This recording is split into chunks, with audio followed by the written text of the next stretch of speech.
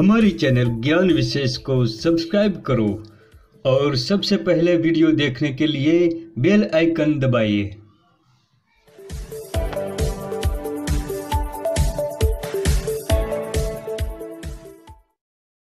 नमस्कार दोस्तों मैं ईश्वर सोलंकी और आप देख रहे हैं ज्ञान विशेष।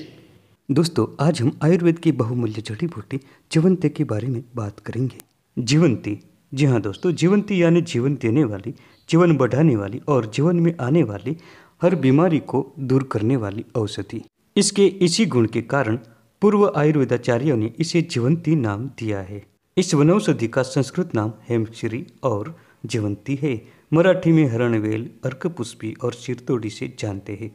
गुजराती में रूडारोड़ी डोडी खरखोड़ी और सुडियानो वेलो भी कहते हैं। इसे तमिल में पलाई केराई से जानते हैं और मलयालम में अट्टा कोदियन कहते हैं। जीवंती का बॉटनिकल नाम लेप्टाडेनिया रेटिकुलता है। आयुर्वेद के अनुसार जीवंती शीतल प्रकृति की होती है और स्वाद में मधुर होती है। यह स्निग्ध रसायन बल को बढ़ाने वाली आँखों के लिए हितकारी, ग्राही, धातु को बढ़ाने वाली और कफ को निकालने वाली होती है। यह ज्वर, दाह, नेत्र रोग, रक्तपीत और रक्त दोषों का नाश करती है। यह पचने में भारी होती है और त्रिदोष का नाश करती है। दोस्तों, जीवंती की एक बेल होती है। इस प्रकार के इसके पत्ते होते हैं। इसके फल एक से तीन इंच लंबे होते हैं। दोस्तों, जीवंती की चार जाति पाई जाती है। पहली, लघु जीवंती यानी छोटी डोरी। दूसरी, बड़ी जीवंती। इसकी फली तीन से साढ़े तीन इंच लंबी होती है। इसे तोड़ने पर पीले रंग का दूध निकलता है। इसके कच्चे फल और फूलों का साग बनाया जाता है।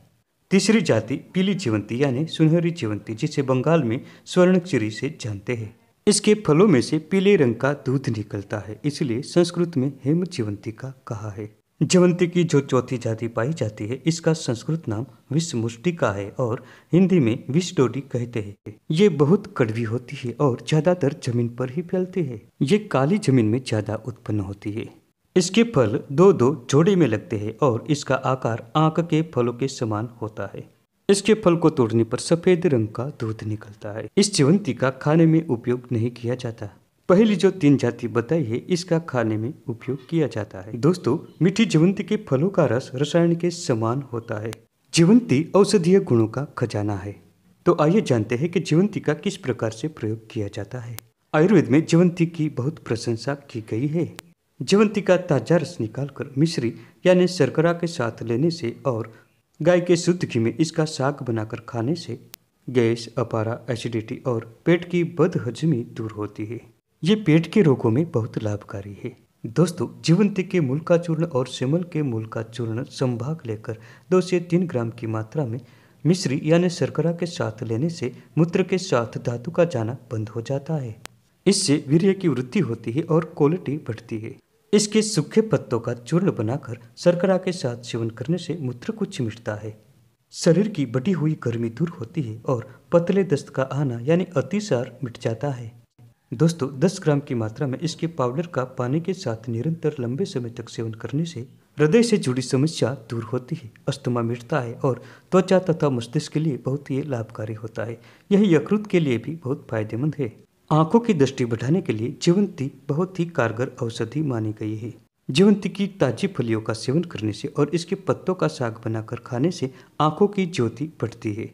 जीवंती के पंचाग का चूर्ण बनाकर दूध के साथ सेवन करने से डायबिटीज़ में फ़ायदा होता है। जीवंती के पंचाग के रस के साथ अनार का रस मिलाकर घी के साथ सेवन करने से डायरिया मिटता है। तो दोस्तों, हम आशा करते हैं कि आज की ये जानकारी आपके जीवन में लाभकारी सिद्ध हो।